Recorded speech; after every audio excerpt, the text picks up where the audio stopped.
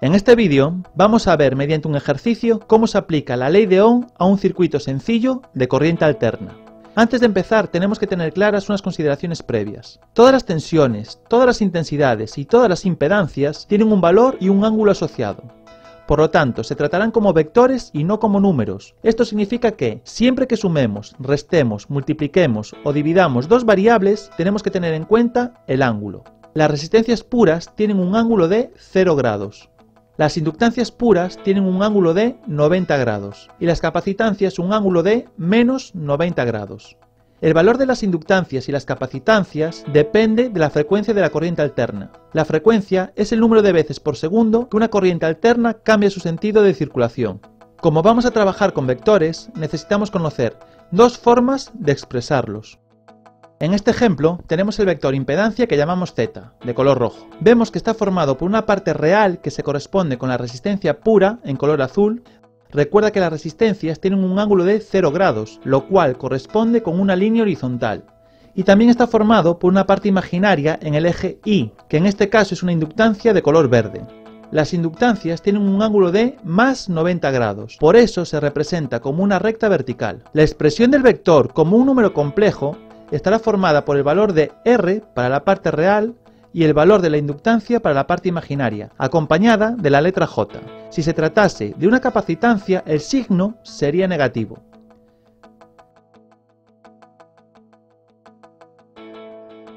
Si lo queremos expresar de forma polar necesitamos conocer el módulo de z. Como z es la hipotenusa del triángulo, utilizamos Pitágoras para calcular su valor.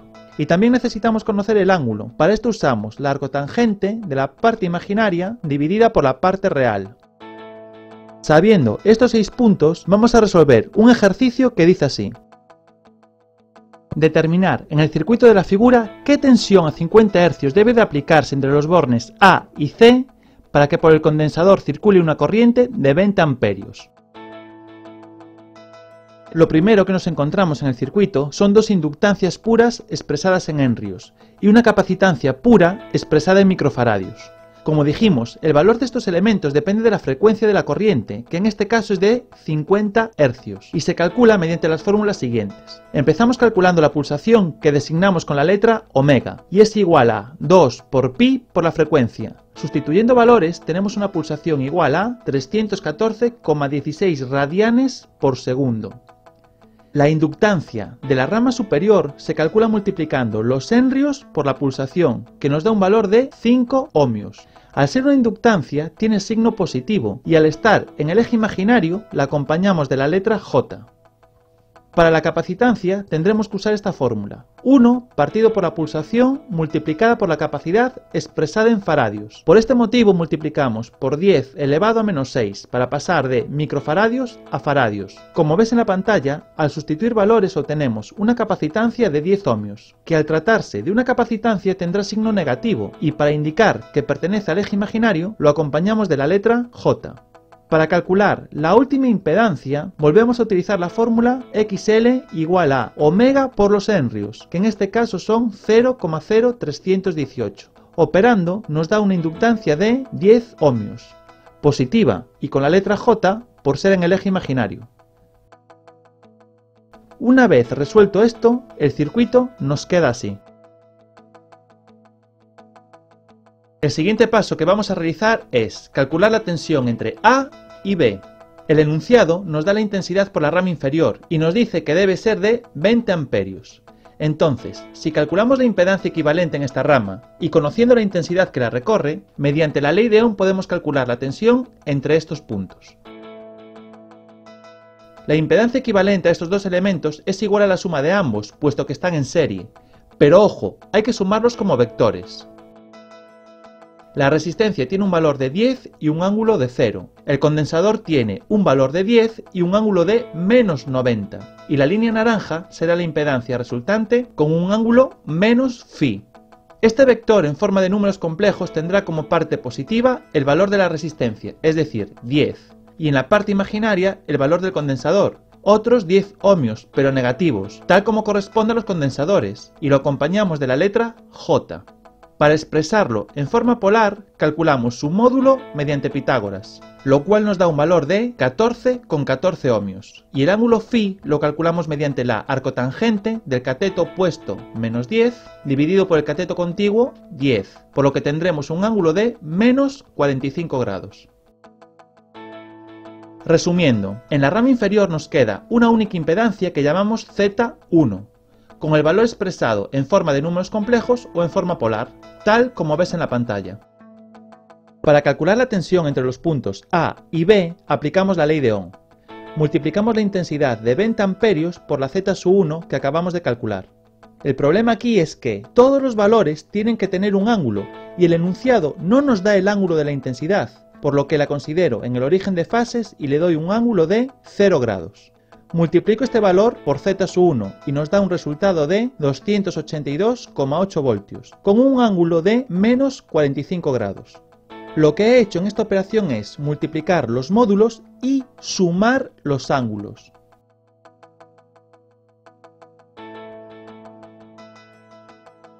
Estos resultados que acabamos de obtener los guardamos para operaciones futuras.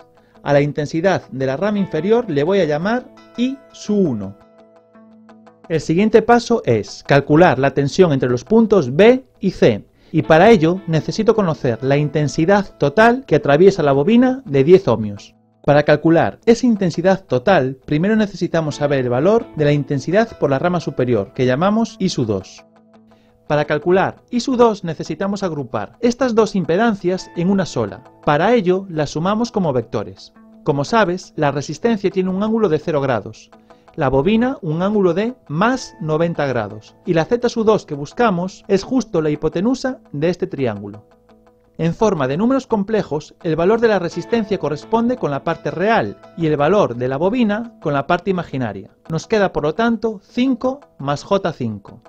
Si queremos el valor de Z2 en forma polar, aplicamos el teorema de Pitágoras para hallar el módulo y la fórmula del arcotangente para hallar el ángulo. El resultado de estas operaciones es 7,07 ohmios de módulo y un ángulo de más 45 grados. Para obtener la intensidad 2 usaremos la ley de Ohm y dividimos el voltaje entre A y B por la Z2. Ambos valores los calculamos previamente. Fíjate que tenemos que realizar la división teniendo en cuenta los ángulos de cada variable. Para resolver esto, dividimos los módulos y restamos los ángulos el ángulo del numerador menos el ángulo del denominador y nos queda una intensidad igual a 40 amperios con un ángulo de menos 90 grados. Para calcular la intensidad total tengo que sumar la I1 más la I2. Para hacer la suma con vectores, lo más fácil es pasarlos a números complejos. Vamos a repasar cómo se hace esta transformación. Empezamos con la ISU 1. Para hallar la parte real de un número complejo, multiplicamos el módulo por el coseno del ángulo, en este caso 20 por coseno de 0. Y para la parte imaginaria, multiplicamos el módulo por el seno del ángulo. Operando nos queda que la intensidad en la rama inferior expresada en números complejos es 20 más J0. Vamos a repetir el proceso con la intensidad 2. Para la parte real multiplicamos 40, que es su módulo, por el coseno de menos 90, no te olvides de incluir el signo. Y para la parte imaginaria multiplicamos 40 por el seno de menos 90. Nos queda 0J40. Para hallar la intensidad total del circuito, sumamos las partes reales por un lado y las partes imaginarias por otro. Nos da como resultado 20 menos J40. Ahora que conozco la intensidad total, necesito volver a pasarla a forma polar para facilitar los cálculos que vienen a continuación. Ya sabes que, para pasar de un número complejo a forma polar, aplico Pitágoras para calcular el módulo y la arcotangente para calcular el ángulo.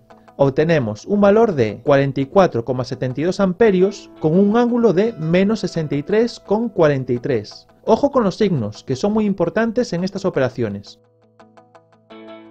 Pues bien, conociendo la intensidad total y la impedancia de la bobina 3, ya estamos en disposición de calcular el voltaje entre B y C mediante la ley de Ohm. Tan solo tenemos que multiplicar la intensidad por la impedancia. Sustituimos valores y operamos multiplicando los módulos y sumando los ángulos. Nos queda un voltaje entre B y C de 447 voltios y un ángulo de 26,56 grados.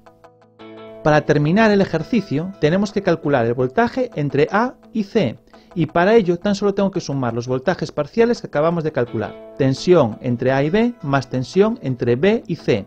Como ya vimos, para sumar vectores es más fácil hacerlo en forma de números complejos. Por lo tanto, al igual que hicimos con las intensidades 1 y 2, ahora vamos a pasar las tensiones de forma polar a forma binómica. Empezamos con la tensión entre A y B. Multiplicamos el módulo por el coseno del ángulo para obtener la parte real y para la parte imaginaria multiplicamos el módulo por el seno del ángulo. Nos da un valor de 200 menos J200. Hacemos lo mismo para la tensión entre B y C. Multiplicamos el módulo primero por el coseno y luego por el seno y nos da el número complejo 400 más J200. Ahora, las partes reales las sumamos por un lado y las partes imaginarias por otro, lo cual nos da un valor de 600 más J0.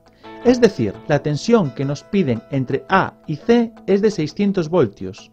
Si aplicamos 600 voltios al circuito, por el condensador de la parte inferior estará circulando una intensidad de 20 amperios, tal como nos dice el enunciado. Es un ejercicio largo, pero muy útil para aprender a operar con circuitos de corriente alterna. Espero haberte ayudado y gracias por ver este vídeo.